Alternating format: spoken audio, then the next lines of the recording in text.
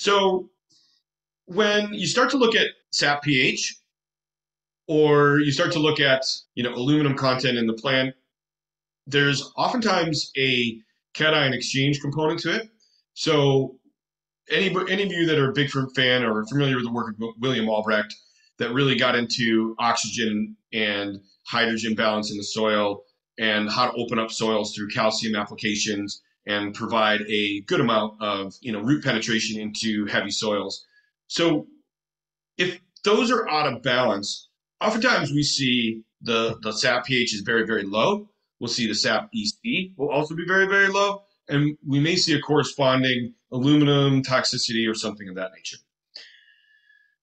If we have an aluminum issue and we know that it's there, we can begin to actually start to apply phosphorus judiciously and in the right form so that we can start to take the aluminum out of the plant.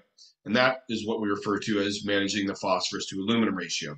Really key component because as many people know, NPK, P, in my personal opinion, has more has done more for for my own personal growing of better crops than nitrogen ever has.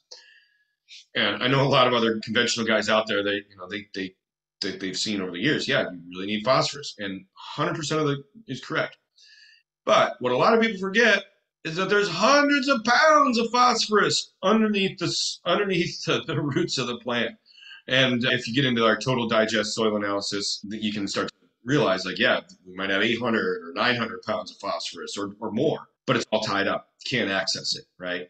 So what's that coming from? A lot of times it's carbon shortage. A lot of times it's root aeration, other ratios, silica, calcium, copper.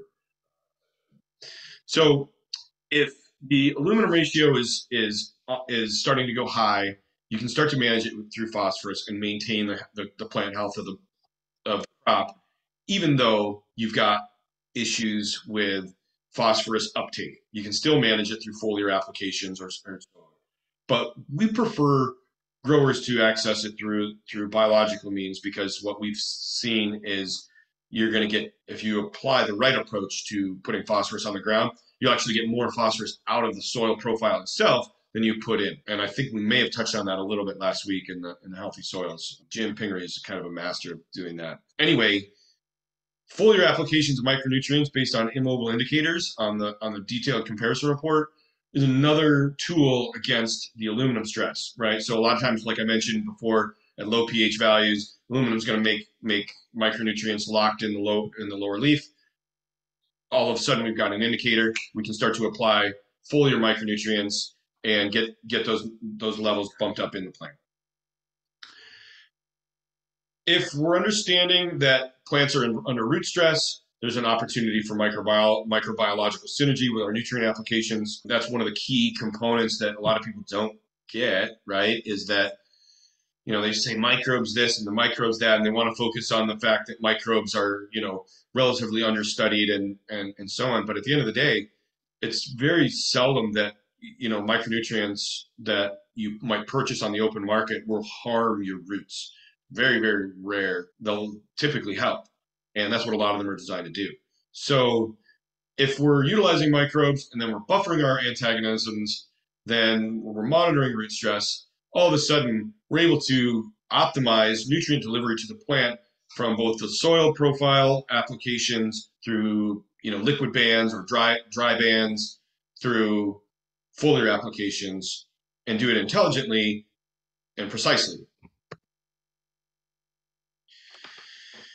So uh, this topic, I, I, gave it. I gave a. I gave a presentation a, a, little over a month ago at the Soilcraft conference in Washington on mineral nutrition and, plant susceptibility was the title. And you know, it was a really interesting presentation from from my perspective because it's the first time I've ever really given one like that where we really just only went right down into the meat and potatoes of here, take a look at plant sets in the leaf analysis that show visible symptoms, whether it's chlorosis, metal sclerosis, leaf leaf imbalances, you know, et cetera, et cetera, et cetera.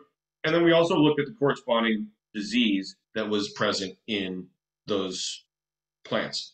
So, for instance, we were looking at, you know, blighted tomatoes and the corresponding potassium deficiency or aluminum excess or chloride excess, and so on and so on and so forth.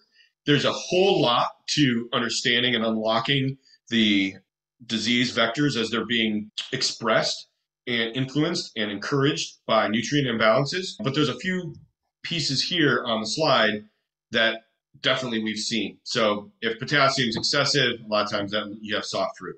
If, if sulfur is excessive, a lot of times that, that leads to a storage rot. A lot of literature out there talks about the co- correlation between aluminum levels and root pathogens. And there's been a less, less a little bit lesser known research in, in how chloride is associated with high levels of mildews and rusts, both in you know, uh, high dollar value crops as well as large acre crops. We've also seen that when sodium is high and aluminum is also high, correspondingly, there's oftentimes going to be a problem downstream. You know, we had a fair amount of growers that'll, you know, that'll call in, they'll run a leaf test, they'll get a recommendation, they'll, you know, have a talk with with somebody from the office here, myself, on the phone, and they'll say, "Yeah, you know, my boss doesn't want to spray anything right now. You know, it looks like, you know, it looks like from the leaf analysis says that you know we, should, you know, our chloride's high." you know, but we're just gonna, you know, spray a fungicide and, and you know, we'll be good, right? Well, lo and behold, a lot of times those those folks call back a couple weeks later and say, well, you know, we've actually got a lot bigger problems now. We went from one disease to two or three, or one disease to now we have one disease and two pests, and the plants start to go downhill. So there's a real key, and it's a bit of an art form and, under, misunderstood that nutritional influences are key to un- unpacking both resistant plants, but also understanding them the, the converse of susceptible plants as being excessive in one or more unwanted nutrients.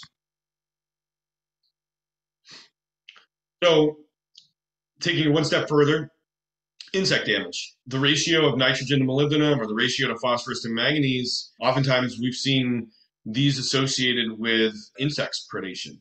And one of the things that we've developed over the years is a you know a bit of a unique approach to insects. And you know my personal belief is that oftentimes consuming insects or herbivorous insects are there to feed they actually feed on and gain a huge amount of nutrients from what the plants can't process. So in other words if you're feeding a plant an excessive amount of nitrogen and then all of a sudden you see a insect show up oftentimes we're finding that those insects are feeding on the nitrogen.